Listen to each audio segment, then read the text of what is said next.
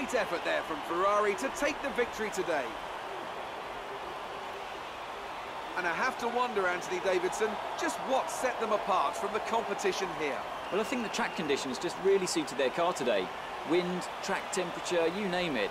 These cars come alive when the tyres are just at the right temperature. So the more easily you can keep them there, the better your race tends to go. And that's exactly what happened. Their car just looks so comfortable out there. So here they come now, out onto the podium. Wherever you go, anywhere in the world, the prancing horse flags are dominant in the grandstands, and they're out in force again today. It's Ferrari on the top step once more.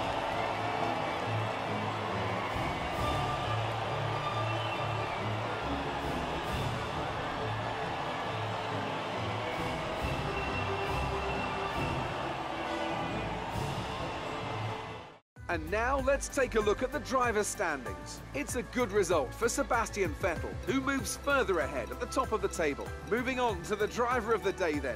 Anthony Davidson, who would you go for? I'd say Max Verstappen earns that title today.